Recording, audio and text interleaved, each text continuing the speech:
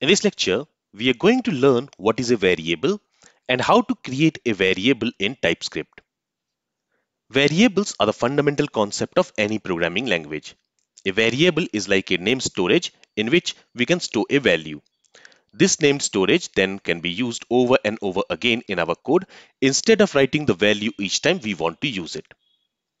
So let's go ahead and let's learn how we can create a variable in TypeScript. Let's go to VS Code. So here in VS Code, currently this app.ts file is open and in the right hand side, we also have our browser open. So whatever TypeScript code we will type here and when we will compile it, it will be converted into JavaScript code and that JavaScript code will run here. Okay, so from here, I'm going to remove this console.log statement. I'll simply put a comment here and here we are going to learn about variables in TypeScript and this is lecture 3. All right. Now in TypeScript, we can create a variable using let or const keyword. So just like JavaScript, in TypeScript also we create a variable using let and const keyword. Let's first create a variable using let keyword and let's simply call it as num. Okay, and I'm going to assign this num variable with this value 100. So this is how we create a variable using let keyword. In the same way, we can also create a variable using const keyword. Let me call it as str and to this I'm going to assign a string variable and I'll simply call it as hello world. Okay, so this is how we create a variable using const keyword, just like how we do it in JavaScript. Now, what is the difference between the variable created using let keyword and the variable created using const keyword? Well, when we create a variable using let keyword, at that time, we can simply declare the variable without assigning any value to it like this. And at a later point of time, if we want, we can assign it with some value like this. So here we are not getting any error. So when we create a variable using let keyword, we don't need to initialize it immediately. We can initialize it after a later point of time. But when we create a variable using const keyword, like we are creating here, we need to initialize it immediately. We cannot create a variable using const keyword without initializing it. So for example, if I try this, if I try to create a variable using const keyword without initializing it, you see we are getting an error. And the error says const declaration must be initialized. That means whenever we create a variable using const keyword, we must initialize it immediately like this. But that is not the case in case of variable created using let keyword. All right.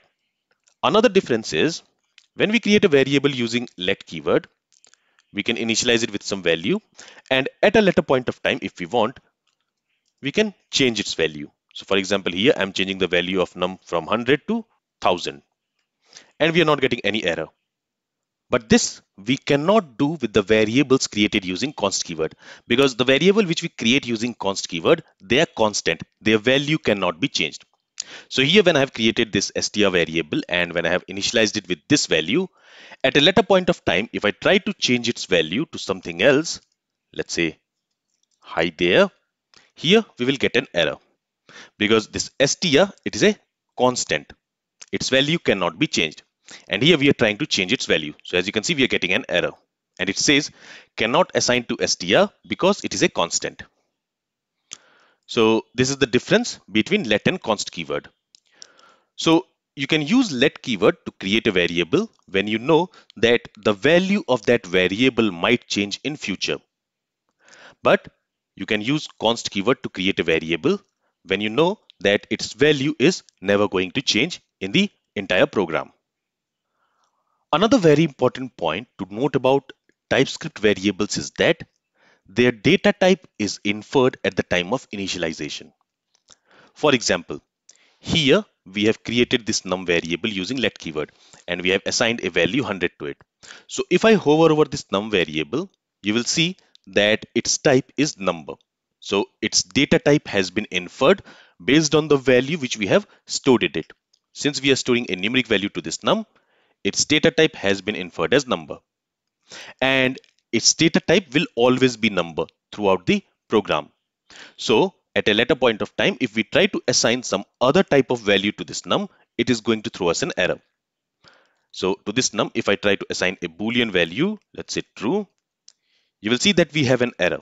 And the error says that boolean is not assignable to type number because here even though we have not explicitly specified the data type of this num variable but since we have assigned 100 to it it is a number and that's why it has inferred its type as number. So we can only assign a numeric value to it anytime in the future. But this is not how it works in javascript. In javascript when you create a variable you assign it with a value its data type will be determined based on the value which you have stored in it but at a later point of time, you can change the value of that variable to any other type. And then the data type of that variable will change based on the value which you have stored in it. So JavaScript is dynamically typed, but here TypeScript is strongly typed. Once the data type of the variable is determined, its data type cannot be changed. Okay, that's why when we assigned 100 to this num variable, its data type was determined as number. So only number can be stored in this num variable throughout the program. No other value type can be stored in this num variable. And that's why when we are trying to store a boolean value to this num, it is giving us an error. So this is another important point to remember about TypeScript variables. Now, let's also learn what are the rules we need to follow in order to name a variable. So when we are creating a variable, when we are going to provide a name for the variable, we need to keep few things in mind. The first thing which we need to keep in mind is that the variable name can only contain letters, digits, underscore and dollar sign. It cannot contain any other character. For example, here I can create a variable, let's say first name first underscore name. So this variable name is correct because it contains letters and an underscore. So underscore and letters are allowed in a variable name. Even you can include dollar and digits. So letters, digits, dollar and underscore. These things are allowed in a variable name. But if you try to use any other character, for example, if I try to use hyphen, hyphen is not allowed in variable name. So this is not a valid variable name. Okay. In the same way, if I try to use percentage, that is also not allowed in a variable name. So this is also not a valid variable name. Only letters, digits, underscore and dollar is allowed in a variable name. This is the first rule. The second rule is the first character of a variable name must not be a digit. A variable name cannot start with a number. For example, if I say one name, this is not a valid variable name because a variable name cannot start with a number. This is the second rule which you need to remember. Third rule is a variable name can start with a letter, underscore or dollar sign. It cannot start with a number, but a variable name can start with a dollar sign or it can also start with a underscore or it can start with any letter. So this is also a valid variable name and this is also a valid variable name. It starts with a character, a letter. Then the fourth rule is TypeScript variable names are case sensitive. So for example, this variable num and if I create another variable num with n in uppercase, these two are completely different variables. These are not same variables. These are different variables because variable names are case sensitive.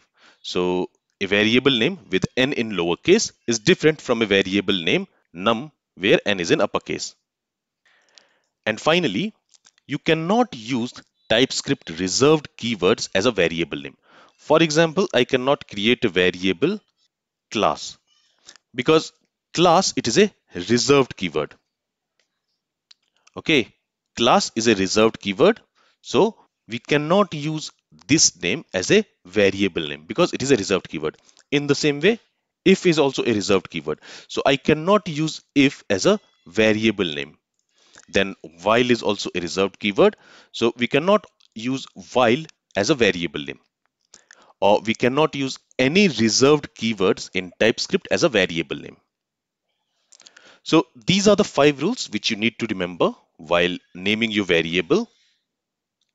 So variable name can contain only letters, digits, underscore and dollar sign. The first character of a variable name must not be a digit. A variable name can start with a letter, underscore or dollar sign, but it cannot start with a digit. It cannot start with a number. And TypeScript variable names are case sensitive. So a variable name num with all characters in uppercase is different from a variable name num with all characters in lowercase. And finally, we cannot use TypeScript's reserved keywords as a variable name. So these are the five rules you need to remember while naming your variable. So in this lecture, we learned that we can create a variable using let and const keyword. And when we create a variable and when we assign it with some value, that variable is going to have a type. So in the next lecture and in coming few lectures, we are going to talk about the different data types we have in TypeScript.